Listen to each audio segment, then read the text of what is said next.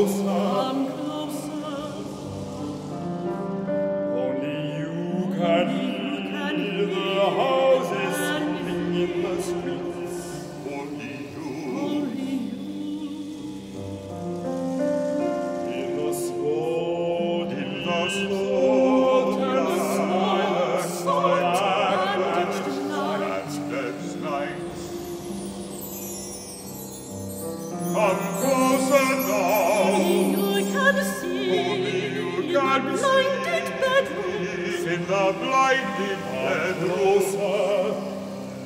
Only you can see. You can see the combs and petticoats over the chair. The jugs and basins the glasses of tea. Thou shalt not. Thou shalt not. Thou shalt not.